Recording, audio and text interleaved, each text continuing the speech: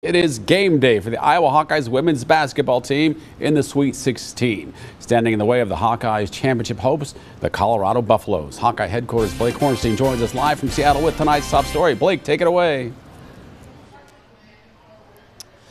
Well, Jim, as you might have seen last hour, you can do a lot of cool things in Seattle, like catch a fish at a market. But the Hawkeyes, 30 years removed from their last Final Four appearance, their best chance may be right here in Seattle.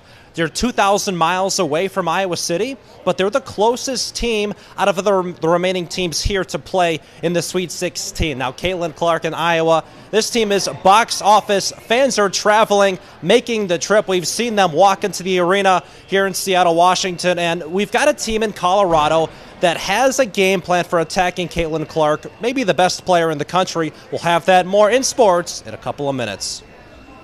All right, Blake, looking forward to that. Thanks.